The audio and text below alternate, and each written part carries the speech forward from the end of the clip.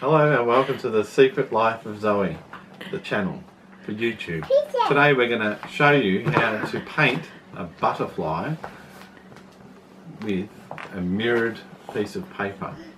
Folding. First we're going to fold the piece of paper, okay? And fold it up like this. Okay. A bit of paper there. Alright. Then we use some black. Black colour. What colour is that, Zoe? Black?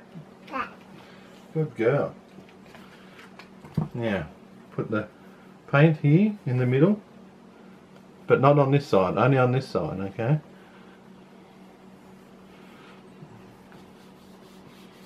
Good girl. Now, what about some um, what about some red?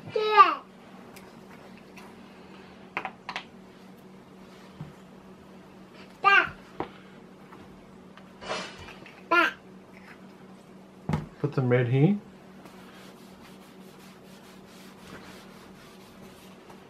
Back. Back. Right. And Blue. Back. Back. what colour is that? Back. No, yellow. Yellow. Good girl. Put some there.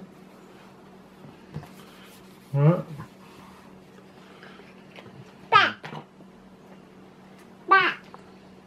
What colour is this one?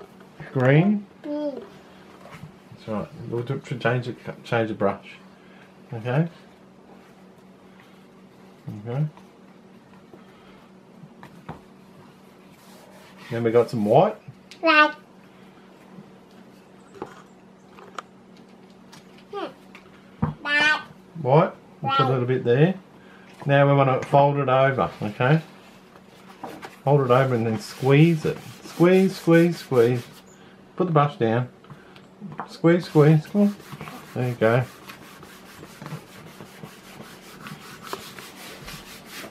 Now open it up.